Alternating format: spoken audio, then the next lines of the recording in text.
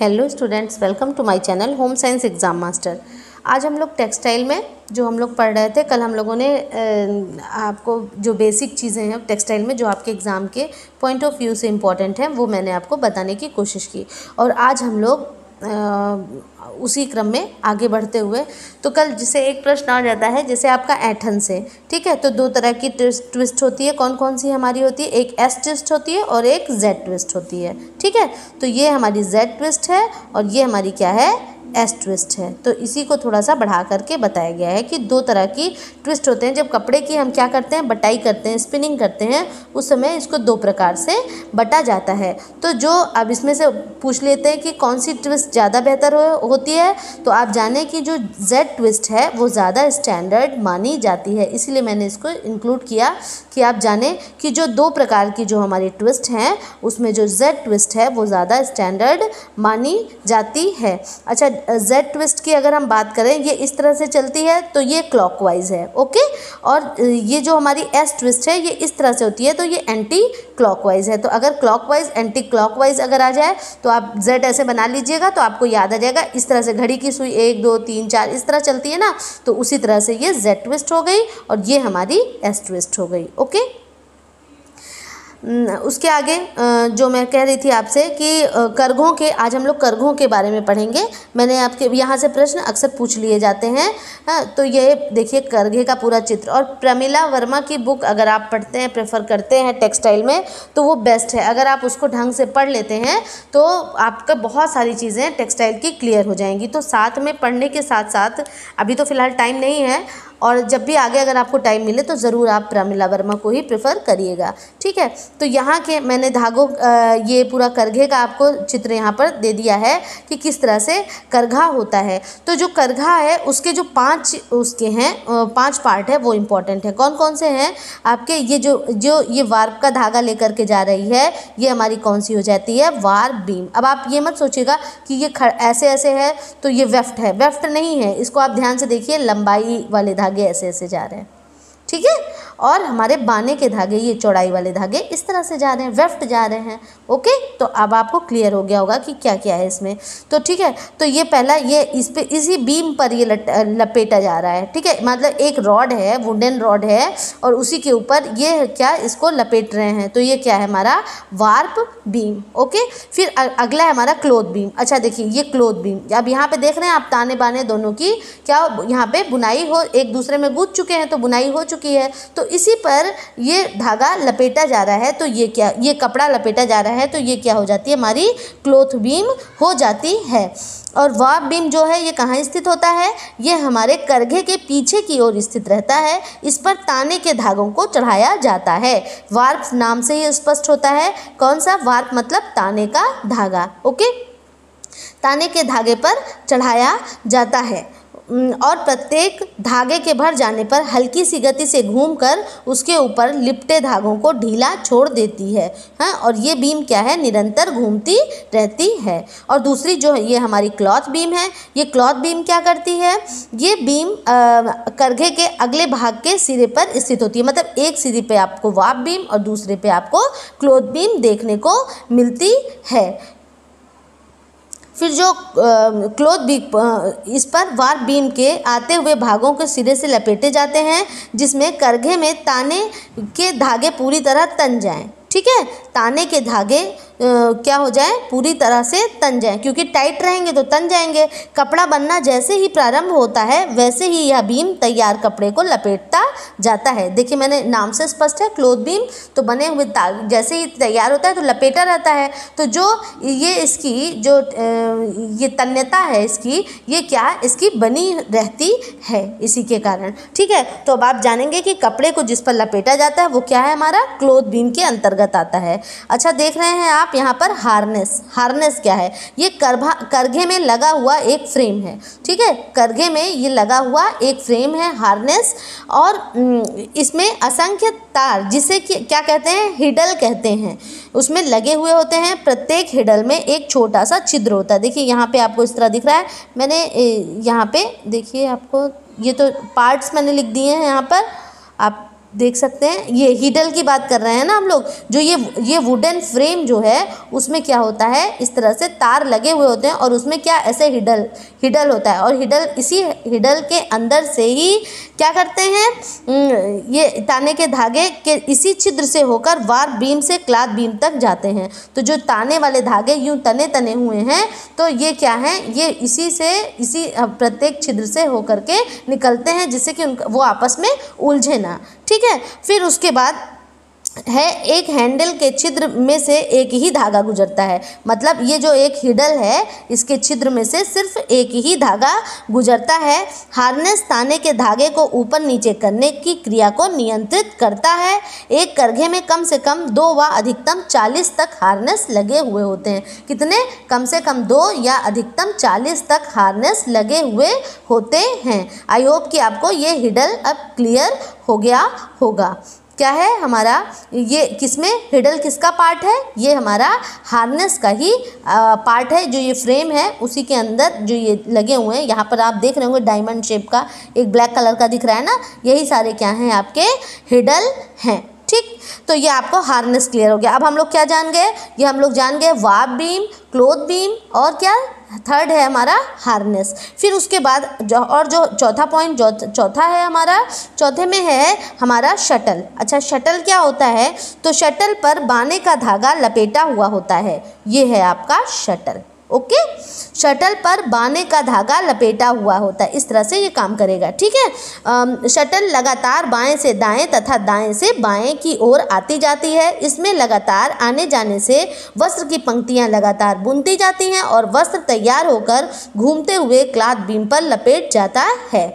Shuttle की एक पंक्ति में में बुन देने की क्रिया को क्या कहते हैं? एक पिक कहते हैं। ये देखिए पिक अगर पूछा जाए कि पिक क्या है तो क्या जब शटल एक पंक्ति, जैसे इस तरह इस तरह इस तरह से है, ये आपके कौन से हैं? ये वार्प यान है, आप ये जो आपका शटल जो है, ये वेफ्ट यान को ऐसे लेकर के जा रहा है, ठीक है? तो एक बार जब ये पूरा कर लेता है तो उस क्रिया को क्या कहते हैं? जब एक बार ऐसे किया इसने, इधर से, इधर को आया और इधर से, इधर को आया तो एक बार जब इसने पूरा किया तो उसको क्या कहते हैं? एक पिक कहते हैं। एक बार एक बार इधर से इधर आ गया तो इसको क्या कहते हैं? एक पिक कहते हैं। तो आई होप कि आपको याद रहेगा कि पिक अगर पूछता है तो वो हमारे शटल से संबंधित है। Heddle H for heddle H for harness ठीक है? तो आप हार्नेस से उसमें जाएँगे। फिर पांचवा पॉइंट है हमारा रीड रीड क्या चीज़ है? ठीक है? रीड रीड और बैटन यहाँ पे दिया हुआ है कि करघे में एक कंघी के आकार का सामान का एक भाग होता है मतलब रीड क्या है, एक कंघी की तरह, कॉम्बिंग करता हुआ चलता है, ठीक है? तो शटल द्वारा जब पंक्ति बुनकर तैयार हो जाती है, तब रीडे रीड आगे की ओर जाकर बुनी हुई पंक्तियों को ऐसे यूँ करके ऐसे ठोक देता है। तो जब ये ठोकेगा तो क्या होगा कि वो ताने और बाने के धागे क्या हो जाते हैं? आपस में सेट हो जाते हैं। और इस तरह से बैठ जाएँ रीड भी पतले रीड में भी पतले तार लगे होते हैं। प्रत्येक तार के बीच में से एक धागे को निकाला जाता है। रीड बुने भाग कर ठोक कर ठीक कर देता है। प्रत्येक बुनी हुई पंक्ति तैयार वस्त्र का भाग बन जाती है और इस प्रकार वस्त्र की लंबाई सतत बढ़ती जाती है। आई होप कि अब आपको ये पाँचों पार्ट इसके क्लियर हो गए होंगे। एग्ज़ाम में आएगा तो बिल्कुल भी आप मिस्टेक नहीं करेंगे। ठीक है है? वाप बीम क्या है? जिस पर ताने के भागे लिपटे हुए होते हैं। क्लोथ बीम क्या है? ताना बाना जब तैयार हो जाता है तो ये इस साइड में आगे की तरफ़ लपेटा हुआ होता है और वाप बीम हमारा पिछले हिस्से में लगा हुआ होता है। तो इसी के ऊपर क्या होता है? कपड़ा लपेटता जाता है। हमारा हार्नेस क्या है? हार्नेस कुछ नहीं। हार्नेस वुडन फ्रेम है। हाँ जो हार्नेस वुडन फ्रेम है, जिसमें बहुत सारे क्या तार लगे हुए होते हैं और उसमें एक हीडल भी रहता है। हाँ जो हीडल क्या है? उसी के अंदर से क्या ताने के धागे एक एक करके जाते हैं? ये हमारा हार्नेस हो गया। फिर शटल की बात करते हैं। जब इस तरह से जब इस तरह से बुना हुआ रहेगा शटल में। इस तरह ये आपका ये आपके ताने के धागे ये हैं और जब ये शटल में क्या ये बाने के धागे को इस तरह से लेकर के जाएगा। तो जो शटल है उसकी शटल की आ, आपने देख लिया होगा पीछे पिक्चर में है कि शटल कैसा दिखता है। तो ऐसा ऐसा करके ये चलता है और जब एक बार ये अपनी क्रिया पूरी कर लेता है तो इसको क्या कहते हैं? एक पिक कहते हैं। कंघी या रीड कंघी या रीड क्या है कि ये नाम ही लिख दिया है यहाँ पर कंघी या रीड तो कंघी की तरह होती है इसमें भी वायर्स लगे हुए होते होते हैं और जब धागा अपनी एक, ये पूरा कर, जैसे एक बार इसको पूरा कर लिया तो ठोक करके आगे की तरफ़ उसको लेकर के जाएगा और फिर क्या होगा, जब एक बुनाई पूरी हो जाएगी, तब उसके बाद कपड़ा क्या होगा, एक पंक्ति, दो पंक्ति पूरी हो जाएगी तो कपड़ा क्या हो जाएगा, क्लोथ बीम में लपटने लगेगा। इसी तरह से सतत वस्त्र निर्माण होता रहता है। आई होप कि आपको बिल्कुल ये क्लियर हो गया होगा। और इसी में से प्रश्न आते हैं कि करघे का कौन सा भाग का क्या कार्य है? तो warp beam, cloth beam, harness, shuttle और रीड आपको एकदम याद रखना है। फिर यहाँ हीडल वाला मैंने बता ही दिया था आपको हीडल क्या है, इसीलिए मैंने चित्र यहाँ पर मेंशन किया कि जिससे आपको कोई आपको कन्फ्यूज़न ना रहे। और बुनाई की प्रक्रिया की बात हम करें तो बुनाई की प्रक्रिया जो होती है, जिसको हम कहेंगे कि वीविंग का जो प्रोसेस है, उसकी बात हम करते हैं तो वस्त्र निर्माण करते समय करघे पर धागों को तान कर, उसमें से बुनाई करते समय अनेक क्रियाएँ करनी पड़ती हैं। ये क्रियाएँ एक दूसरे के बाद की जाती हैं तथा इन्हें निरंतर दोहराया जाता है। तो ये कौन कौन सी क्रिया हो गई भाई हमारी शेडिंग हो गई पेकिंग हो गई बेटनिंग हो गई और फिर उसके बाद लपेटना व छोड़ना। तो इस तरह से ये चार क्रियाएँ हैं, इसको क्रम में भी लगाने के लिए दे सकते हैं या वैसे भी दे सकते हैं। तो इसको हम लोग ऐसे मैं बता देती हूँ कि शेडिंग में क्या होता है, इसमें क्या होता है कि बुनाई की इस प्रक्रिया में हार्नेस तागे के तागे के उन धागों को ऊपर उठाता है, जिनके नीचे से शटल को गुजरना है। ठीक है, अब हमें पता चल गया ना कि शटल क्या है तो शटल वही जो बाने के धागे को यूँ यूँ कर रहा है ना तो उसको क्या करेगा कि उन उन धागों को उठाएगा। वीविंग में जानते हैं ना, एक छोड़ते हैं, एक उठाते हैं, इस तरह से। तो उनको उनको उठाएँगे, जिसको नीचे से गुजरना है। तो ये क्या हो गया? शेडिंग हो गई। ताने के धागे को ऊपर उठाने से एक शेड बन जाता है। जिसे ऊपर उठाया तो क्या हो जाएगा? एक शेड का निर्माण होता है, जिसमें से बाने का धागा शटल द्वारा दाहिनी तरफ़ से बाई तरफ़ डाला जाता है। अब मेरे ख्याल से आपको क्लियर हो गया होगा। जब इधर से इधर जाता है तो जैसे एक, ये एक छोड़कर एक या दो छोड़कर एक, जो भी हो तो इसको जब हम ऊपर की तरफ़ उठा देंगे तो क्या एक शेड जैसा बन जाएगा ना? इसीलिए पहली प्रक्रिया क्या हो जाती है हमारी? शेडिंग हो जाती है। दूसरी प्रक्रिया हमारी है पिकिंग हम्म, जब हार्नेस कुछ धागों को उठाते हैं बाने का धागा शटल के द्वारा शेड में डाल दिया जाता है। ठीक? और यह करघा करघे के आर पार जाते ही छिद्र में से एक ओर से निकल जाता है। इस तर, इस एक तरफ़ के धागे की भराई को एक पिक कहते हैं। मैंने आपको बताया था ना, एक तरफ़ वो होगा। जब दूसरी बार हार्नेस उन धागों को ऊपर उठाता है, जो पहली भराई के समय नीचे थे। समझ में आया? जो पहले नीचे था नीचे था, जब उसको ऊपर उठाएगा तो वो क्या हो जाएगी? पिकिंग हो जाएगी। और फिर एक नया शेड बन जाएगा। मतलब पहले जिसकी भराई हो गई, वो अब वो अब नीचे रहेंगे, और अब जिसकी नहीं हुई थी भराई, जिसका शेड बना था, अब दोबारा उसकी भराई होगी, और जिसकी हो चुकी, उसका शेड बन जाएगा। तो ये क्रिया क्या कहते हैं? क्योंकि पिक करके ऊपर उठा रहा है, और किस, कौन से धागे को? ये हमारे ताने के धागे को ऊपर उठा रहा है। बाने को नहीं, ताने के धागों को ऊपर उठा रहा है। ठीक है? फिर उसके बाद हम बात करते हैं बीटनिंग की। बीटनिंग क्या है? कि ताने के धागे पर जब एक पिक के द्वारा एक पंक्ति के धागे भर जाते हैं, तब इसके उपरांत बीटनिंग की क्रिया की जाती है। इस कार्य को करघे का रीड करता है। यह रीड कंघे के आकार का होता है, जो आगे की तरफ़ आकर भरी हुई पंक्ति को हल्का सा ठोक देता है। तो बेटनिंग की प्रक्रिया किस बेटनिंग की प्रक्रिया किसके द्वारा होगी? ठोकने वाली प्रक्रिया। बेटनिंग को आप बीट करने से समझ सकते हैं। तो ये कौन ये काम करेगा? ये रीड ये काम करेगा। रॉड से बीटनिंग रॉड से पीटना। तो मतलब रीड से क्या हो जाएगी? बीटनिंग हो जाएगी। और पिकिंग पिकिंग में मतलब शेडिंग में पहली बार जब उठाया जाता है और पिकिंग में जिसको पहली बार छोड़ा जाता है, उसको दोबारा उठाया जाता है और बीटनिंग में जब ये ये तैयार हो जाते हैं ताने और बाने के धागे तो ये ये जो हमारा क्या है रीड जिसको हम कह रहे हैं रॉड रॉड से ठुकाई करेंगे तो रॉड से क्या करता है, पीछे वाली पंक्ति को आगे की तरफ़ ठोक देता है तो वो कौन सी क्रिया हो जाती है बीटनिंग की प्रक्रिया हो जाती है। फिर taking up and lifting off ये प्रक्रिया कौन सी है taking up and lifting off ठीक? तो इसमें क्या होता है कि यह बुनाई की अंतिम क्रिया है। इसमें एक पिक के बन जाने के बाद तथा ठोक कर बैठा दिए जाने के बाद ताने के धागे वाली वार बीम, जो ताने के धागे वाली वार बीम है, वो थोड़ा सा घूम कर आगे की ओर ढीला छोड़ देती है। और उससे क्या होता है, यहाँ से ये ढीला छोड़ेगी तो क्लोथ बीम क्या करेगा, उसको कस लेगा। ठीक? तो ये प्रक्रिया हो जाती है। और ये क्रियाएँ इतनी शीघ्रता और सरल मतलब तेज़ी से होती हैं कि ताने धाग, ताने का जो कसाव है वो पहले की भांति बना रह पाता है। तो आई होप कि अब आपको ये समझ में आ गया। लपेटना व छोड़ना, छोड़ा किसके द्वारा जाएगा और लपेटा लपेटा क्लोथ बीम के जाएगा और छोड़ा किसके जाए, द्वारा जाएगा? ये आपकी वार बीम के द्वारा छोड़ा जाएगा।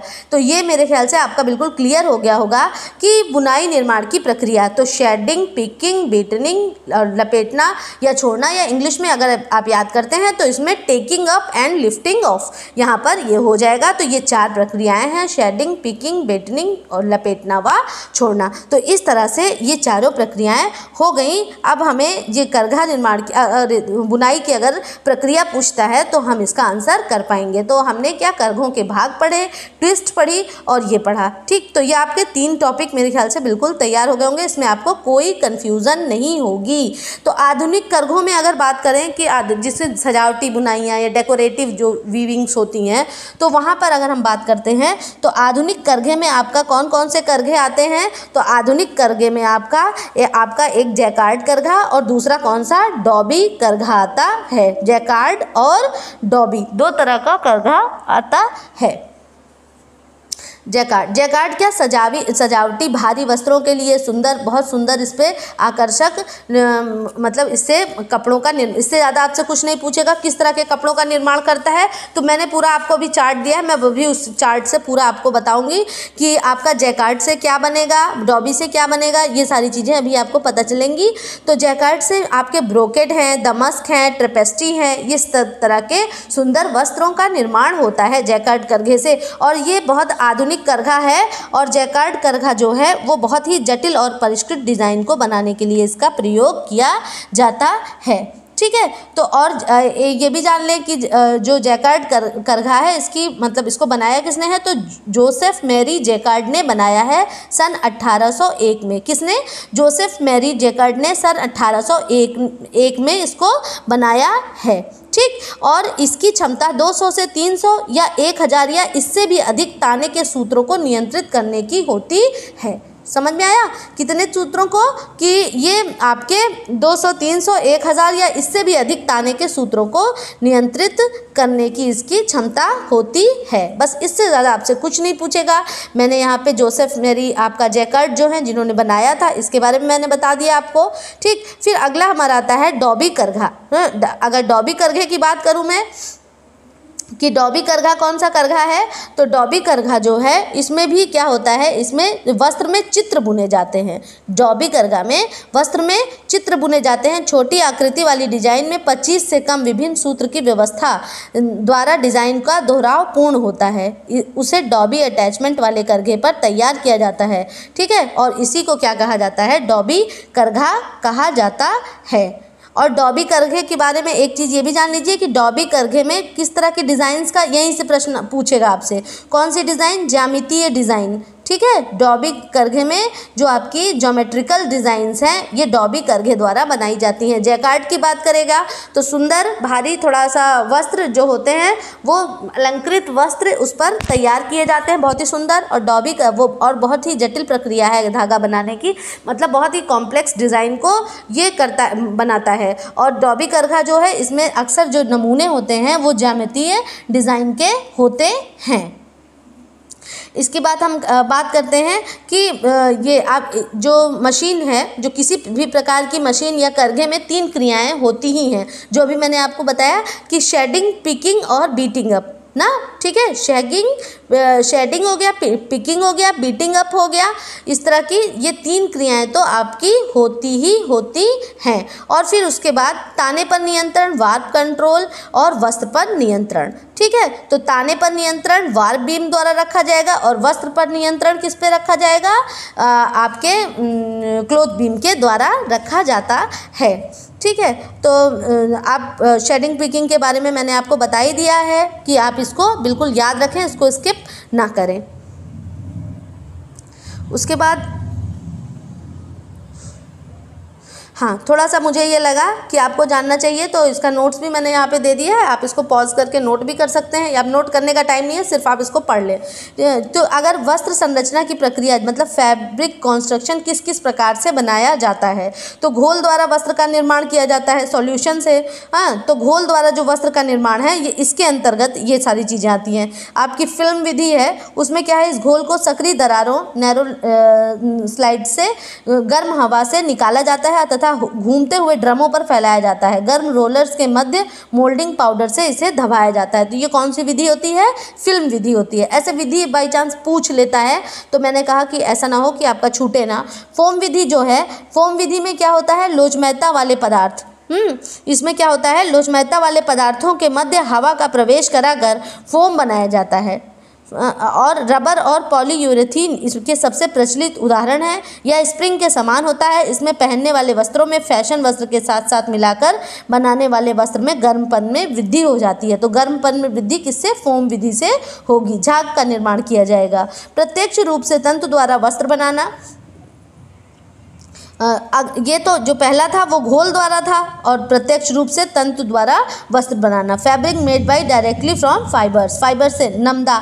नमदा क्या है? जो फर्श पर हम लोग बिछाते हैं। वो क्या है? नमदा है। तो उसमें ऊनी तंतुओं की इसमें जो स्टेपल फाइबर्स जो ऊनी वाले होते हैं और इसके, इसमें कॉटन का भी मिश्रण करते हैं। ठीक है? तो उसमें क्या होता है कि फैलकर मिश्रित हो जाते हैं और दाने नहीं उगते और यह यह आवाज़ को भी अवशोषित करते हैं। तन्यता नहीं होती, मज़बूत होते हैं। खींच कर पुनः आकार ग्रहण करने की क्षमता होती है। तो ये क्या है हमारा नमदा? और बुनाई, नमदा कहाँ का प्रसिद्ध है? आपका कश्मीर का, ठीक है? बुनाई रहित विधि, बुनाई रहित नॉन वुवेन फैब्रिक की अगर बात करें, जिसमें कि बुनाई नहीं होती है तो बुनाई रहित विधि में क्या होता है कि इस इस ये वस्त्र के तंतु को यांत्रिक, रासायनिक, तापी या घोलक विधि द्वारा इस सभी प्रक्रियाओं के संयोग द्वारा तंत्र को आपस में बांधकर एक दूसरे से गूंथ कर वस्त्र को तैयार किया जाता है। या बुने हुए या निटिंग किए हुए वस्त्रों से अधिक सस्ता होता है। फेंकने वाली वस्तुओं या टिकाऊ वस्तुओं हेतु काफ़ी अधिक उपयोग में लाया जाता है। मतलब जो जितने भी डिस्पोजल सामान जैसे आपने खरीदे, जैसे रक्स वगैरह ले लिए और उसको हमने क्या यूज़ किया कुछ दिन और उसके बाद फेंक दिया। तो इस तरह के बुनाई रहित विधि जो नॉन वुवेन मतलब उसमें किसी भी प्रकार की बुनाई नहीं होती है। अगला है हमारा सूत्रों द्वारा वस्त्र बनाना। Fabric made by made from yarns मतलब धागों से वस्त्र को बनाना। तो इसमें क्या होता है? एक है ब्रेड मेथड इसमें सूत्रों को तिरछे या लंबवत स्थिति में आपस में गूंथ लिया जाता है, जिससे जूतों की लेस भी बनाई जाती है। ब्रेड विधि अगर पूछ ले किससे बनाई जाती है तो ब्रेड विधि के द्वारा जूतों की लेस का निर्माण होता है। अगला है निटिंग विधि। निटिंग हम सब जानते हैं क्या है? आपस में गुथे हुए लूप्स लूप्स की बात करते हैं तो वो हमारी कौन सी हो जाती है? निटिंग विधि के अंतर्गत आ जाती है। आपस में गुथे हुए लूप्स की सहायता से एक से अधिक सूत्रों को तैयार किया जाता है। यह बुनाई अपेक्षा वस्त्र तैयार करने की अधिक शीघ्र विधि है। खींचने वाली तथा नोचमय वस्त्र होते हैं, जैसे हम लोग अपने ऊनी जैसे स्वेटर्स वगैरह इन सारी चीज़ों का निर्माण करते हैं, वो क्या है हमारी निटिंग विधि के अंतर्गत आते हैं। लेस विधि क्या है? लेस विधि से सूत्रों को गठान बनाकर बिनना, जैसे कुरैशिया वगैरह से, ना, हम लोग बुनते हैं तो वो क्या है हमारी लेस आती है उसमें। इंटरलेस इंटरलूप विधि आदि की सहायता से बनाया जाता है। यह तो किनारों पर या पूर्ण वस्त्र पर इसके कुछ चित्र की सहायता से बनाया जाता है। इसके किनारे या पूर्ण वस्त्र सजावटी होते हैं। इसमें खुली छिद्र में संरचना होती है। यह हाथ के द्वारा एवं मशीन के द्वारा दोनों से इसका निर्माण किया जाता है। वीविंग तो हम जानते हैं, ताने बाने को आपस में एक दूसरे के ऊपर रखते हैं तो वीविंग हो जाती है। तो आप इसको जाने रहिए कि घोलक विधि से फ़िल्म विधि, फोम विधि, दो ही विधि है। फ़िल्म विधि है और फोम विधि। फ़िल्म विधि में आपका क्या? गर्म रोलर्स का यूज़ करते हैं। फोम में क्या करते हैं? और इसके हवा का प्रवेश करा करके क्या इसमें फोम उत्पन्न कर दिया जाता है? और रबर और पॉलीयूरेथीन इसका उदाहरण है। प्रत्यक्ष रूप से तंतु का द्वारा वस्त्र बनाने में नमदा विधि और बुनाई रहित विधि मतलब नॉन वूवन मेथड आता है। सूत्रों द्वारा ब्रेड विधि जिससे कि जूते की लेस का निर्माण होता है। निटिंग विधि हम लोग जानते हैं निटिंग से क्या? स्वेटर्स वगैरह का निर्माण लेस विधि। लेस विधि से भी लेस को बनाते हैं किनारों को सजाने के लिए। बुनाई वीविंग तो हम सभी जानते हैं। ये वीविंग ही होती है जो आ, हम आप जिसके बने हुए हम आप वस्त्र पहने हुए हैं, ओके? फिर उसके बाद मैं थोड़ा सा आपको बताऊँगी कि यहाँ पर जो ये आप शेडिंग पिकिंग बेटनिंग और टेकिंग अप इसको बिल्कुल भी आपको भूलना नहीं है। तो और ग्रेन्स क्या हैं? अगर हम बात करते हैं कि ग्रेन्स क्या होती है तो वार्प होती है और और आपकी सॉरी वार्प वार्प होती है और ये कौन सी होती है? वेफ्ट होती है। ठीक है? तो ये ताना है और ये बाना है। अब ये मत सोचिएगा कि वो उस पर हैंडलूम पे इस तरह से ताना था। उस, उसको ध्यान दीजिए कि वो लंबाई थी। ओके वहाँ पर क्या एक तरफ़ ये था, एक तरफ़ आपका ये इधर वार बीम थी और ये इधर क्लोथ बीम थी। तो इसीलिए यहाँ बुनाई हो रही थी तो इस तरह से था। ठीक है? लेकिन आप जाने कि ये ताने के धागे हैं और ये आपके बाने के धागे इसमें कन्फ्यूज़ नहीं होना है आपको।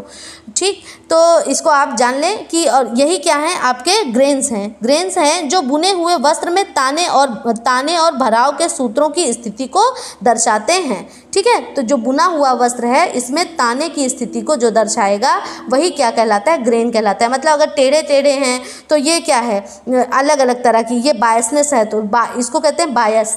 बायस और ट्रू बायस, मैंने आपको बताया था ना, बेड़ा कपड़ा, आड़ा कपड़ा तो इसी तरह से जब ऐसे ऐसे करके निकलता है तो ये ये क्या है? अगर इस तरह से पूरा ऐसे हो गया फोर्टी फाइव डिग्री पे तो वहाँ पर क्या हो जाता है? हमारा ट्रू बायस हो जाता है। तो ग्रेन की जो स्थिति होती है, उसी से हम किसी का, किसी को जानते हैं कि कि किस तरह से इसमें वो आ, मतलब बायसनेस किस प्रकार है? तो किसी भी ताने के सूत्र में लंबवत ग्रेन जो है लेंथ वाइज ग्रेन की स्थिति होती है। किसी भी भराव के सूत्र में आड़े ग्रेन्स की स्थिति होती है। मतलब आपकी हॉरिजेंटल और वर्टिकल की बात कर रहा है।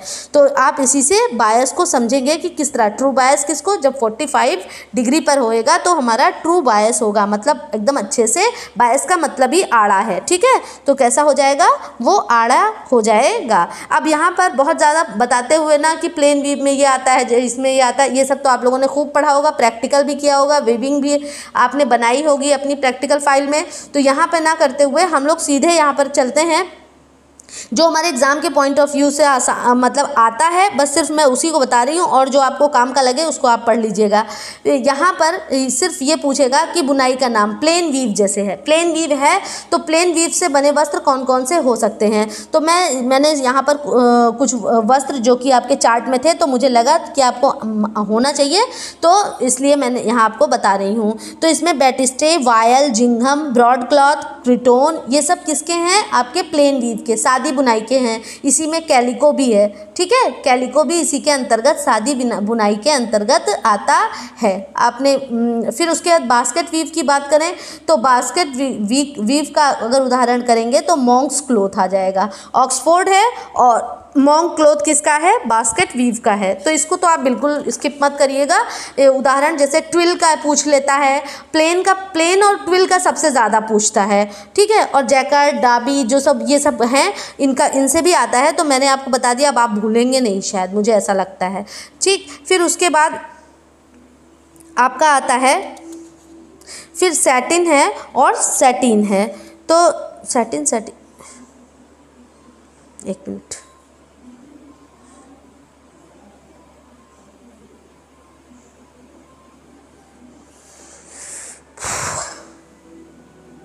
रिब रिब के अंतर्गत रिब का बहुत पूछता है, ट्विल का आपका पूछता है तो आपको इसको याद करे रहेंगे आप। ब्रॉन्ड क्लॉथ है, पॉपलिन है, टेफ्टा है। ये किसका है? रिब का है। बॉन्ड क्लॉथ, ब्रॉड क्लॉथ और पॉपलिन है और टेफ्टा ये किसका है? रिब रिब बुनाई का है। ट्विल बुनाई की बात करेंगे ट्विल में आप डेनिम को बिल्कुल मत भूलिएगा, जिसके जीन्स की बात करते हैं। ठीक है? तो इसमें सर्ज है, फिर उसके बाद सुराह है डेनिम लिखा हुआ है। डेनिम है गार्बडीन है ट्वीड है, ये सब गार्बडीन इसमें से पूछ चुका है। सर्ज भी पूछ चुका है। तो ये ट्विल बुनाई बुनाई के अंतर्गत आता है। सेटिन की बात करें तो सेटिन जो है, वो क्रेप बेग सेटिन की यहाँ पर बात कर अच्छा मैं सिर्फ़ सेटिन में जो जानने जानने वाला है वो मैं आपको बता रही हूँ जो आपका सेटिन है हम्म, जो सेटिन बुनाई है सेटिन वीव है उसमें क्या इसमें अक्सर यही प्रश्न ज़्यादा पूछता है कि ताने की प्रधानता है या बाने की? तो उसमें जो सेटिन है उसमें ताने की प्रधानता होती है। जो ताने के धागे हैं जो आपके वार वार बीम है सैटिन में उसकी प्रधानता होती है और जो सैटिन है सैटिन में सैटिन और क्रैप्स सेटिन के बारे में बता दिए कि ये ये किसका? आपके सेटिन तो आपके ताने के धागे मतलब ऊपर रहते हैं फ्लोट करते हैं और सैटिन में क्या होता है? आपके बाने के धागे फ्लोट करते हैं। के धराव ऊपर में बाधित अंतरों को तिरछे रूप में तैरते रहते हैं। यहाँ पे दिया हुआ है और यहाँ पे मैं आपको बता देती हूँ, यहाँ पर क्या आपके बाने के धागे क्या होते हैं? फ्लोट करते हैं। तो यही सेटिन और सेटिन और फ्लोट क्या है? अगर फ्लोट पूछ ले तो मतलब जैसे ये ये आपके ये आपके ताने के धागे हैं और ये बाने के धागे हैं तो दो के ऊपर से चला गया। ठीक है? ये तीन के ऊपर से चला गया। तो ये जितना मतलब ये चीज़ है, ये जो ऊपर से जा रहा है, यही क्या है आपका? फ्लोट उसी प्रकार से लॉफ्ट की बात अगर करता है तो लॉफ्ट में आपका वूल आता है। आप इसको याद रखिए लॉफ्टिंग की जो प्रक्रिया है लॉफ्टिंग किसमें ये क्वालिटी सबसे अच्छी किसमें होती है? वूल में होती है। फिर उसके बाद क्रैप की बात करें तो सादी और सेटिन या साटिन बुनाई का संयोग इसमें सूत्रों को अनियमित रूप से गूथा जाता है। ये क्या होता है हमारा? क्रेप होता है। क्रेप से क्या? ग्रेनाइट क्लॉथ मास क्रेप और सैंड क्रेप इस तरह के कपड़े बनते हैं। ठीक है, फिर उसके बाद जो क्रेप एक परिसज्जा है, जो कि हमारे किस पर की जाती है? सिल्क के वस्त्र पर की जाती है। तो क्रेप परिसज्जा अगर पूछेगा तो उसके लिए सिल्क का नाम हम लेंगे। फिर पाइल की बात हम करें तो पाइल वीव जो है, वो पाइल में क्या होता है? पाइल क्या है? थ्री प्रभाव लेकर के आता है। क्यों? क्योंकि उसमें लंबाई चौड़ाई के साथ में उसमें ऊंचाई भी होती है। तो पाइल भी कई तरह की है हमारी। आपकी कट पाइल है लूप मतलब जो लूप जिसका लूप यूँ रहेगा, वो क्या होगा? उसमें लूप बना हुआ है आपका। तो वो वो आपकी, वो लूप वाली हो गई, ठीक है? और जब इसी लूप को ऊपर से काट देते हैं तो वो हमारी कट पाइल के अंतर्गत आती है। और ये पाइल को ब्रश के समान की सतह होती है। तो ब्रश के समान होगी ना, जब धारे को ऐसे कट कर देंगे तो इस तरह से, इस तरह से ऐसे खुल करके आ जाएगा। तो ये ब्रश के समान की सतह हो जाती है। इसमें सादे या ट्विल बुनाई के, ज़मीन के सूत्रों के, ऊपर ताने या बाने के भराव के अतिरिक्त सेट को बुना जाता है, जिसे लूप तैयार होता है। इस लूप को काटा जाता है या नहीं काटा जाता है? तो वही मैंने आपसे बताया कि जिसको काटा जाता है, जिसको कट कट पाइल के नाम से जानते हैं, जिसको नहीं काटा जाता, वो पाइल है हमारी, ठीक है? तो उस, इसमें, इससे कैसा प्रभाव उत्पन्न होगा? गर्म, नर्म, प्रति प्रतिस्कंदी, अभिशोषक, इस तरह का प्रभाव होता है, ठीक है? तो पाइल को चपटा भी बनाया जा सकता है। तो पाइल का अगर उदाहरण आपसे पूछ ले तो आप क्या करेंगे? वेलवेट है, वेलवेटीन है वेलवेट, वेलवेटीन, ये पाइल के ही अंतर्गत है। कॉड्राय है और फर के समान, ठीक है? वस्त्र टेरी वस्त्र, किसके? फर फर मीन्स रोए रोए के समान वस्त्र, किसमें? हमारे पाइल में देखने को मिलता है।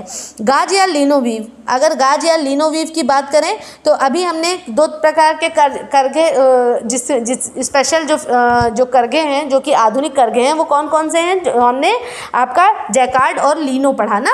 तो जैकार्ड में क्या? सुंदर परिष्कृत डिज़ाइन का प्रयोग होता है और लीनो में आपका वो डॉबी वीव में, डॉबी वीव में जोमेट्रिकल पैटर्न होते हैं। प्रश्न यहीं से पूछा जाता है। और फिर उसके बाद गाज या लीनों की बात करें तो यहाँ पर क्या होता है, ताने की जोड़ियों को एक दूसरे के ऊपर प्रत्येक भराव के साथ गूथा जाता है, खुला हुआ जिसमें सूत्र सुरक्षित रूप से बंधा हुआ रहता है, जिससे मसलिन फैब्रिक, इससे क्या बनते हैं, इसमें मसलिक फैब्रिक का निर्माण हुआ होता है। मज़बूत निम्न गणना वाले वस्त्र फिसल के प्रति प्रतिरोधक, इससे किससे, मैंड्रिन का अगर पूछ लेगा हाँ तो ये फिर क्या है आपका? ग्रैंडिन, ये पर्दे का वस्त्र है, ये किससे बना हुआ होता है? ये गाज वीव से बना हुआ होता है। गाज या लीन, और मच्छरदानियों का भी निर्माण हमारे गाज या लीनो व्हील से ही होता है। और हम कहें डबल क्लॉथ डबल क्लॉथ की बात करें तो यहाँ पर अतिरिक्त सूत्रों का अतिरिक्त सेट इस पर बिना, बुना जाता है, और इससे कंबल के वस्त्र, अस्तर और अपोस्ट्री को तैयार किया जाता है। अपोस्ट्री अक्सर प्रश्न पूछा गया है तो अपोस्ट्री मोटा भारी वस्त्र जैसे हमारे सोफ़े वगैरह के लिए इसका इस्तेमाल इंटीरियर में इसका यूज़ किया जाता है अपहोस्ट्री का। ठीक है तो सोफ़े से आप संबंधित इसको याद रखेंगे तो आप भूलेंगे नहीं। हाँ और फिर उसके बाद डॉबी वीव डॉबी वीव जो है आपकी ये छोटी जामिति है। मैंने आपसे बताया था ना, अभी डॉबी का जामिति है और इसमें छोटे फ्लोट तथा विशिष्ट करघे के अटैचमेंट द्वारा बनाई जाती है, जो आपके डॉबी करघा। है, और फिर उसके बाद इसमें क्या होता है कि इसका पोत उत्तम प्रभाव देता है, इसका टेक्सचर कैसा होता है, बहुत अच्छा होता है और इससे कौन सी बुनाई होती है आपकी? हक बैक है, ग्रेनाइट है और शटिल मद्रास। ठीक है? तो ये इस तरह की तीन शटिंग मद्रास मतलब इस तरह की तीन वस्त्रों का निर्माण किया जाता है। जैकार्ड जैकार्ड की बात अभी मैं कर रही थी तो इससे बहुत सुंदर नमूने, नमूनों का निर्माण किया जाता है। व्यक्तिगत रूप से नियंत्रित करके बुनाई और नमूने को किसी भी प्रकार से गूथा जा सकता है। इसकी डिज़ाइन कैसी? बहुरंगी प्रभाव वाली, बड़ी आकृतियों वाली होती हैं। आकर्षक, उत्तम, लटकनशील, मजबूती बुनाई सूत्र पर निर्भर करती है। इसमें ब्रोकेट्स है, दमंग, दमस्क है और ट्रिपेस्ट्री। ये किसका? जैकार्ड वीव का है। ठीक है? करघों से भी अगर पूछे, निर्माण तो उसी तरह से निर्माण होता है। फिर उसके बाद स्वीवेल स्वीवेल ये आप जान लीजिए इसमें, डॉटेड स्विच मतलब जिसमें डॉट डॉट का प्रयोग होता है, ये वो उस तरह के कपड़े जो होते हैं, वो स्विच से बनाए जाते हैं। अतिरिक्त भराव के सूत्र द्वारा वस्त्र की सतह पर छोटी डिज़ाइन को बुना जाता है, ठीक है? और फिर सजावटी डिज़ाइन कभी कभी बहुरंगी अतिरिक्त सूत्र की बनी डिज़ाइन की उल्टी ओर से काटा जाता है, ठीक है? तो इस तरह से आकर्षक डिज़ाइन पीछे से खुरदरी होती हैं और कभी कभी खिंच जाती हैं। इस तरह से जो आपकी स्वीवेल होती है, वो ऊपर से बुनी हुई होती है और पीछे क्या निकला रहता है धागा और वो खिंच जाता है। तो डॉटेड स्विच इसी प्रकार का उदाहरण है। फिर उसके बाद लैपेट की बात करें तो लैपेट में क्या आता है आपका? छोटी डिज़ाइन की बुनाई के समय ही वस्त्र में सिला जाता है। छोटी डिज़ाइन को बुनाई के समय ही वस्त्र में सिला जाता है। वही क्या है आपका? लैपेड है, एक ही रंग के सजावटी डिज़ाइन उल्टी ओर से डिज़ाइन के अतिरिक्त सूत्र को काटा जाता है। आकर्षक स्वीवेल की अपेक्षा मज़बूत डिज़ाइन होती है। ठीक, आकर्षक होती है, स्वीवेल की अपेक्षा ज़्यादा मज़बूत होती है। स्वीवेल ज़्यादा मज़बूत नहीं होती है, धागा जैसे ही खींचता है, वो क्या होता है, उसकी जो डिज़ाइन बनी हुई होती है, वो खींच जाती है। इसका उदाहरण क्या होता है, ग्रेनेडिन और मैड्रस। ठीक है तो ये दोनों क्या है, ये इसका उदाहरण है।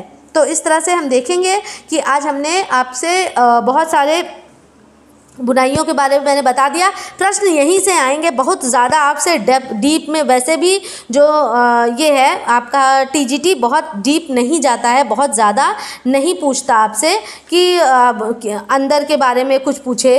तो बहुत ज़्यादा नहीं पूछेगा। फैक्ट बेस्ड क्वेश्चन होते हैं आपके। तो आप मेरे ख्याल से आपका जो है, लीनो बुनाई, गाज बुनाई, ये सारी बुनाइयाँ आपको यहाँ पर क्लियर हो गई होंगी। और जिसमें लीनो बुनाई का मैंने बात बात की थी, उसमें ग्रेनेडिन उसमें भूलिएगा मत, जिससे पर्दे शर्टिंग और ब्लाउज बनाने में उपयोग किया जाता है। ठीक? और सीवेस भी आपने पढ़ लिया, और लेपेटे हाँ लेपेट भी पढ़ लिया। तो इस तरह से आपका जो डबल क्लॉथ है, वो भी अपोस्ट्री के लिए यूज़ में आता है पाइल्स का भी आता है। तो इस तरह से ये तो आपकी वीविंग हो गई। और जैसे बिना नॉन वूवेन अगर वस्त्र की बात अगर की जाए तो फट से आप बिल्कुल भी किसको नहीं भूले, भूलेंगे कि आप फेल्ट में आप नमदा, नमदे को बिल्कुल भी नहीं भूलेंगे। वो किसके, आपके फेल्ट के ही अंतर्गत आता है। फिर उसके बाद नमदा जो हमारा है, वो कई जैसे ऊनी नमदा है, फर नमदा है, उसके भी प्रकार हैं। और नमदा क्या, ये फ्लोर की सजावट के लिए नमदे का प्रयोग किया जाता है। ठीक है तो इस तरह से हमने देखा कि वुवेन आपके बुने हुए और नॉन वुवेन नॉन वुवेन में आपका नमदा आ जाता है। ठीक है, फिर उसके बाद अगर हम बात करें निटिंग निटिंग को भी हम नहीं भूल सकते। निटिंग में ज़्यादा मैं कुछ नहीं बताऊँगी, सिर्फ़ निटिंग में जो इंपॉर्टेंट चीज़ है एग्ज़ाम में जो पूछी गई है, वही मैं आपको बताती हूँ कि वो होता क्या है, आपको क्लियर कर दूँ कि आप तो निटिंग निटिंग जब फंदे वाली बुनाई की बात हम करते हैं तो निटेड वस्त्र जो होते हैं, वो कैसे एकहरे सूत्र से बनाए जाते हैं, जिन्हें हुक वाली सुई के उपयोग से या फंदों से आपस में बांधकर निर्मित किया जाता है। तो ये सब तो परिभाषाएँ हैं आपके निटेड वस्त्रों की। तो जो निटेड जो वस्त्र होते हैं, वो स्ट्रेचबल होते हैं। कैसे होते हैं? स्ट्रेचबल होते हैं और इन इनको क्या होता है कि जैसे किसी भी दिशा में खींचने पर क्या करते हैं? आकार को परिवर्तित कर लेते हैं। और ये ये भी जैसे मतलब इस तरह से लूप है। अगर इन्हीं के ऊपर लूप इस तरह से, फिर उसके बाद ये ऊपर चढ़ गया लूप। हाँ इस तरह। तो तो यहाँ पे जो निटिंग में जान लीजिए कि जो जो आपकी वर्टिकल जो वर्टिकल लूप्स हैं आपके निटिंग में जो आपकी वर्टिकल लूप्स हैं, उसके अंतर्गत क्या आता है हमारा? निटिंग में आपकी जो वर्टिकल लूप्स हैं, उस लूप्स में क्या आएगा? ये इसको हम किस नाम से जानते हैं? इसको हम बेल्स के नाम से जानते हैं। क्या हैं ये? ये बेल्स हैं। ठीक है? और जो इस तरह से जैसे इस तरह से लूप ऐसे करके ऐसे करके जब हम लोग कैसे जब निटिंग करते हैं घर में स्वेटर बुनते हैं तो ऐसे ही तो हमारी सिलाई पे इस तरह से इस तरह से आपका वार वा, वो वेफ्ट वाइज इस तरह रहता है। फिर इसी के ऊपर से हम करते हैं तो ये क्या हो जाता है हमारा वेफ्ट वाइज ठीक है?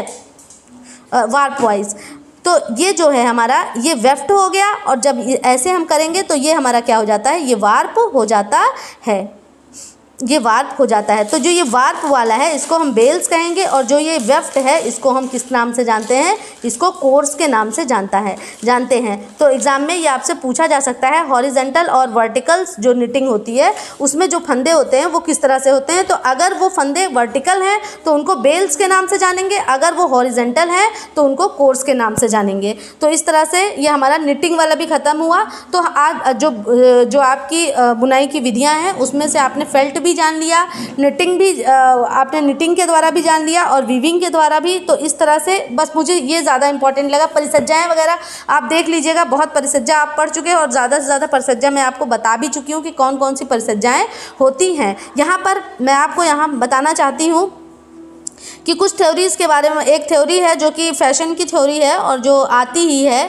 फ़ैशन की क्या एडॉप्टेशन की बात हम करें तो ये हमारे किसमें कई तरह से, अगर आप देखें मैनेजमेंट में भी इसी तरह से काम होता है और टेक्सटाइल में भी ये। तो आपका जो डिफ्यूज़न ऑफ़ इनोवेशन है, क्या है? डिफ्यूज़न ऑफ़ इनोवेशन यहाँ से प्रश्न, अभी आप सोचें, अभी आपको याद आ जाएगा कि मैं किस बात की बात कर रही हूँ। डिफ्यूज़न ऑफ़ इनोवेशन ये थ्योरी किसने दी है? ये इवर्ट रोजर्स के द्वारा दी हुई थ्योरी है। इसको आप नोट डाउन कर लें। इवर्ट रोजर्स के द्वारा दी हुई थ्योरी है।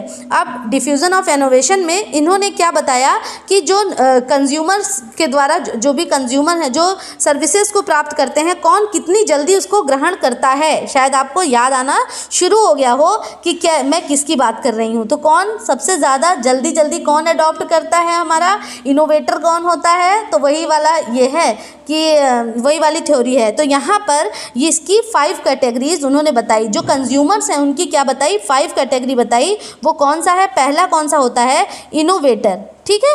फिर उसके बाद दूसरा आपका है अर्ली एडॉप्टर क्या कहते हैं? अर्ली एडॉप्टर हाँ तीसरा है आपका अर्ली मेजोरिटी तीसरा नोट कर सकते हैं आप, और आपके पास हो सकता है हो भी अगर नहीं है तो पूरी थ्योरी आप आप पढ़ सकते हैं।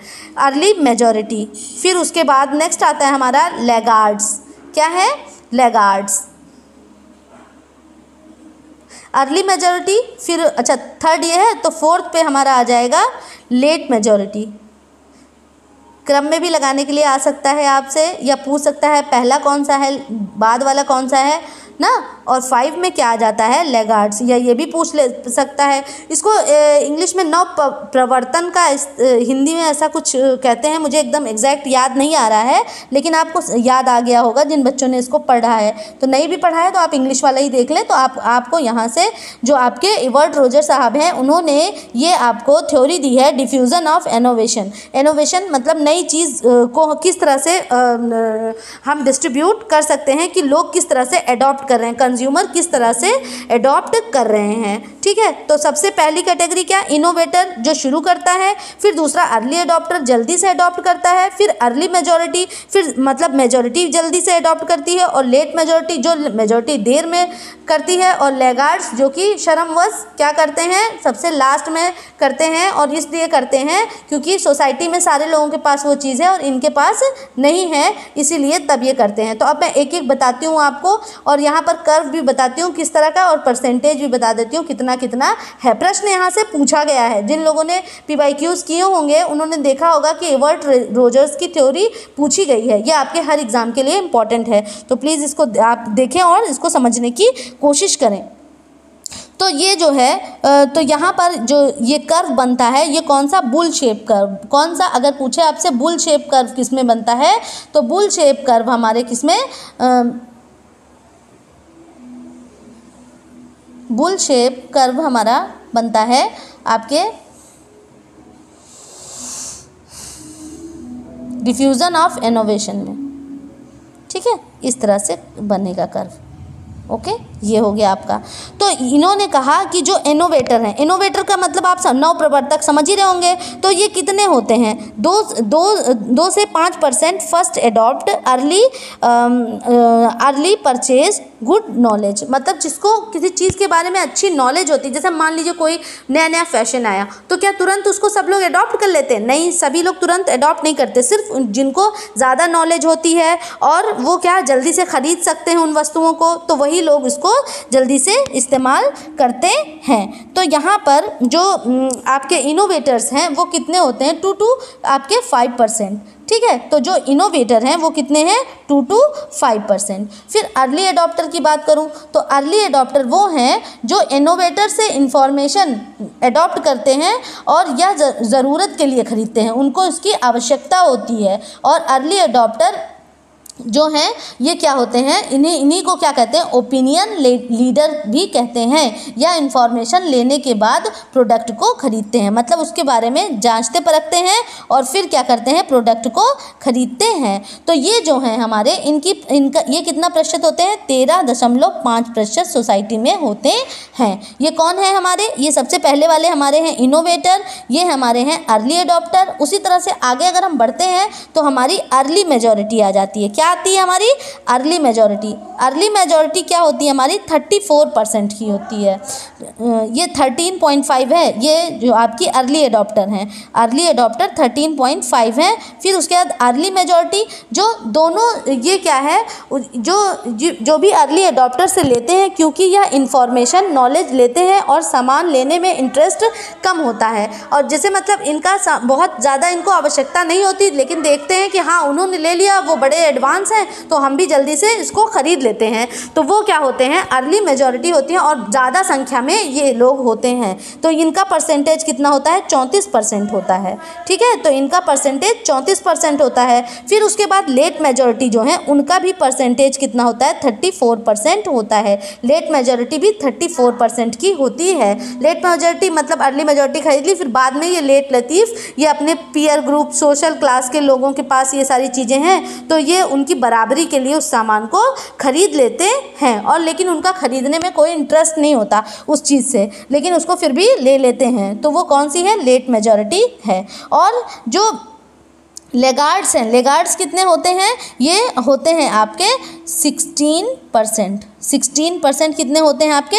लेगार्ड्स होते हैं या इन, नई इन्फॉर्मेशंस को बिल्कुल भी लेना नहीं चाहते हैं। और ये बहुत ज़्यादा लेट लतीफ़ हैं और इन्हें दूसरे से कोई फ़र्क नहीं पड़ता, जो है इसी में संतुष्ट हैं। तो ये सोलह परसेंट वाले हैं। तो इस तरह से हम देखेंगे कि सबसे पहले कौन आते हैं? इनोवेटर। ठीक है? फिर दूसरे नंबर पे अर्ली एडॉप्टर। ठीक है इनोवेटर फिर अर्ली एडॉप्टर फिर हमारे कौन से हैं? तीसरे नंबर पर late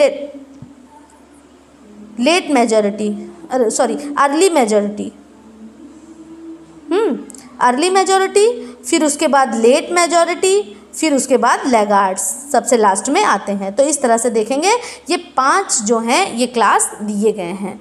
ठीक? तो यहाँ पर जो मैंने, मुझे लगा कि ये इसको आपको जानना चाहिए कि डिफ्यूज़न ऑफ़ इनोवेशन है क्या। ठीक है? डिसीज़न ऑफ़ इनोवेशन जो है, वो है क्या? तो ये आपको जानना चाहिए। तो अच्छा एक प्रश्न आ जाता है, अल्पाका क्या है? तो अल्पाका एक ऊँट है, ठीक है? जो वूल की प्राप्ति होती है, अगर मैं बात करूँ कि अल्पाका, मैं थोड़ा सा शॉर्ट शॉर्ट में आपको जो वन लाइनर क्वेश्चन है थोड़ा सा मैं शेयर करना चाहती हूँ, जो मुझे लग रहा है कि इंपॉर्टेंट है। तो अल्पाका क्या है? ऊँट है, कैश्मीर क्या है? बकरी है। मोहेयर क्या है? बकरी है, और अंगोरा खरगोश है, ठीक है? तो ये हो गया। और हाँ और एक सिल्क के बारे में भी बताना चाहती हूँ कि सिल्क की बात अगर मैं करती हूँ तो यहाँ दो तरह का सिल्क होता है ना? सिल्क जो है आपका, वो दो तरह का। कौन कौन सा हो जाता है?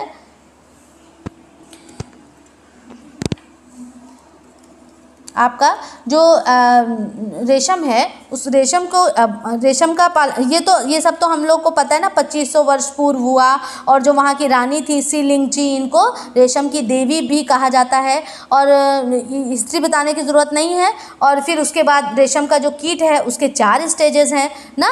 तो क्या उस, उसकी जो जो कीट हैं, उसकी चार, कौन सा? अंडा, लार्वा, प्यूपा, कीड़ा, है?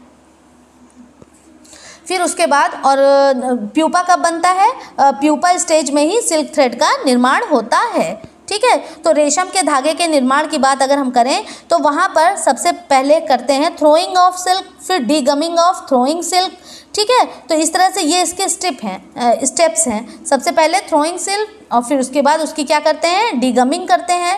और अगर पर, आ, वो अगर हम क्लासिफिकेशन ये सब तो आपने पढ़ी लिया होगा। मैं सिर्फ़ थोड़ा सा आपको क्लासिफिकेशन बताना चाह रही थी कि क्लासिफिकेशन मैं आपको बता दूँ। अच्छा प्रक्रिया भी मैं बताती हूँ आपको। क्लासिफिकेशन की बात करूँ मैं तो यहाँ पर दो प्रकार का रेशम होता है। तो कौन कौन सा रेशम होता है? एक तो आपका होता है वाइल्ड सिल्क स्वनिर्मित। ठीक है? कौन सा हो जाएगा? वाइल्ड सिल्क में आपका स्वनिर्मित रेशम आता है। और फिर उसके बाद एक होता है कल्टीवेटेड मतलब उत्पादित, जिसकी हम लोग क्या करते हैं? खेती करते हैं। तो दो प्रकार का, एक कल्टीवेटेड हो गया और एक हो गया स्वनिर्मित या वाइल्ड सिल्क के नाम से जाना जाता है। तो आपका एक कल्टीवेटेड एक मिनट एक कल्टीवेटेड हो गया एक वाइल्ड सिल्क हो गया ये दो हो गए। कल्टीवेटेड हो गया एक और एक हो गया आपका वाइल्ड सिल्क हो गया। तो कल्टीवेटेड मतलब कि आपका उत्पादित रेशम ठीक है? उत्पादित रेशम के अंतर्गत तीन आ जाएँगे। कौन कौन सा? मूँगा टसर और अरंडी। कौन सा? मूँगा टसर और अरंडी। ये तीन प्रकार का रेशम है और आ, जो आपका सॉरी यहाँ पर ये कुछ नहीं, थोड़ा सा बस यही चेंज कर दूँ। हाँ मुझे लगा कि यहाँ पे तो जो मूँगा, टसर और अरंडी है, ये आपके वाइल्ड सिल्क के अंतर्गत आता है, जिसको कि हम क्या स्वनिर्मित रेशम कहते हैं। और यहाँ पर कल्टीवेटेड मतलब उत्पादित रेशम तो उत्पादित रेशम में कुछ नहीं, बस दो तरह का रेशम, एक लपेटा हुआ रेशम और एक दूसरा कता हुआ रेशम। अगर मैं बात करूँ मूँगा सिल्क की तो मूँगा सिल्क जो है, ये ओक के वृक्ष पर रहता है। और इसमें क्या, इसके, ये ओक की वो जो टैनिक अम्ल होता है ओक की पत्तियों में तो इसी कारण इसमें टैनिक अम्ल पाया जाता है। तो अगर पूछे कि मूँगा में क्या पाया जाता है तो टैनिक अम्ल इसमें पाया जाता है। ठीक है? फिर उसके बाद मैं बात करूँ कि टसर टसर सिल्क की, टसर रेशम की तो ये क्या है? ओ, ये ओक या बबूल के पत्तों पर पलता है और ये भारत एवं चीन में पाया जाता है। अरंडी रेशम की बात मैं करूँ तो अरंडी रेशम जो है, वो अरंडी के एड़ी के या अरंडी के वृक्ष पर मिलता है। इस तरह से आपको देखने को मिलेगा और इसके कोकून बहुत कोमल, सफ़ेद व पीलापन लिए हुए होते हैं। तो बहुत ही अच्छा होता है ये और इस, ये, इससे क्या होता है, काफ़ी बारीक रेशम बनता है और ये बंगाल और असम में बहुतायत पाए जाते हैं। कौन से? अरंडी रेशम। तो तीन प्रकार के ये रेशम हो गए, ठीक है? लपेटा हुआ रेतम, रेशम में कुछ नहीं डायरेक्ट मतलब खींच करके क्या करते हैं, उसको अविरल रूप से ये प्राप्त किया जाता है। इसकी लंबाई 300 से 1800 गज तक हो सकती है और इसमें बिना ऐठन दिए लच्छियों को क्या किया जाता है, लपेट दिया जाता है। और कता हुआ रेशम क्या है? जो हमारा जो कटा हुआ रेशम है, जिसकी, और कतने का मतलब क्या है कि वो छोटे छोटे रहे होंगे, तभी उसको क्या कर दिया? काट दिया। ठीक है तो जो लपेटा हुआ रेशम है, उसकी क्वालिटी कैसी? ज़्यादा अच्छी होती है और जो लपेट, जो आपका कता हुआ रेशम है, उसकी क्वालिटी उतनी अच्छी नहीं होती है। इसमें रेशम के समस्त छोटे तंतु जिन्हें लपेटा नहीं जा सकता है, उनमें से जो रेशम तैयार किए जाते हैं, उन्हें क्या कहते हैं? उन्हें कता हुआ रेशम कहते हैं। तो आपको ये क्लियर हो गया होगा कि आपका अक्सर पूछ लेता है कि आपका कौन सा उसमें है उत्पादित में है और फिर और कौन सा आपका जंगली रेशम के अंतर्गत आता है। तो कल्टीवेटेड कल्टीवेटेड मतलब हम जिसकी खेती करते हैं, वो कल्टीवेटेड हो गया। और जो जो अपने आप जिसका उत्पादन हो जाता है, वो क्या हो जाएगा कि वाइल्ड वाला हो जाएगा। ठीक है आपका? तो इस तरह से ये दो तरह की कैटेगरी है, जिसमें कि हमने इसको बांटा है। अब आगे हम लोग पढ़ेंगे कि हमारी जो रेशम है, उस रेशम निर्माण की प्रक्रिया कौन कौन सी है और रेशम के धागों को हम किन किन नाम से जान सकते हैं? रेशम के अगर प्राचीन नामों की बात मैं करूँ तो रेशम के अगर नाम पूछ लिया जाए तो आप इसको जानते रहें कि कटेजा, पट पीताम्बर टसर, चिनपट और पटवस्त्र कौन कौन से नाम हैं? अगर रेशम के प्राचीन अगर नाम दे दिया जाए तो पूछा जाए किस तंतु का नाम है तो आप कंफ्यूज ना हो। तो इसलिए बता दूँ मैं, केटजा है आपका पट केटजा है पट्ट है, फिर पीताम्बर है। पीताम्बर है आपका, फिर टसर है टसर है आपका। फिर उसके बाद चिन्ह पट नोट कर लें आप, बहुत क्लियर मैं यहाँ पर नहीं लिख पाती हूँ। और पट वस्त्र। ठीक है? तो ये आपके सारे रेशम के नाम हैं। बॉम्बे आपका बॉम्बेक्स मेरी कीड़े का नाम है। फाइब्रिन और सेरेसिन मैंने बताया है किरेटिन जो नाम की प्रोटीन है आपके वूल में पाई जाएगी और फाइब्रिन फाइब्रिन नाम की प्रोटीन आपके सिल्क में पाई जाती है। उसमें फाइव परसेंट सेरेसिन होता है, जो कि गम है और आपका जो नाइन्टी फाइव परसेंट है, वो फैब्रिन है, वो क्या है आपकी प्रोटीन है। तो अगर मैं रेशम की बनाने की प्रक्रिया आपको बताने जा रही थी कि रेशम को किस तरह से बनाया जा सकता है। तो इसको आप नोट कर लें, मेरे पास स्पेस भी बहुत ज़्यादा नहीं है, मैं आपको एक साथ नहीं बता पाऊँगी। तो आप नोट करते, जैसे जैसे मैं बोलती हूँ, आप नोट करते हुए चलें, आपके लिए बेनिफिशियल होगा। फिर उसके, सबसे पहले अगर रेशम बनाने की प्रक्रिया तो सबसे पहले, पहला स्टेप आप नोट करिए कोकून की छपाई। कोकून की छपाई, छटाई सॉरी कोकून की छटाई करना, फिर उसके बाद गोंद ढीला करना मतलब डी गमिंग ओके गोंद ढीला करना, फिर उसके बाद धागे लपेटना धागे लपेटना। चौथा स्टेप आपका है गाठे तैयार करना।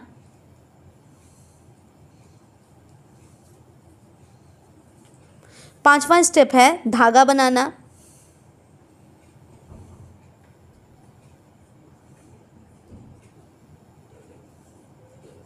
फिर छठा स्टेप है गोंद हटाना ओके धागा बनाना, फिर उसके बाद गोंद हटाना।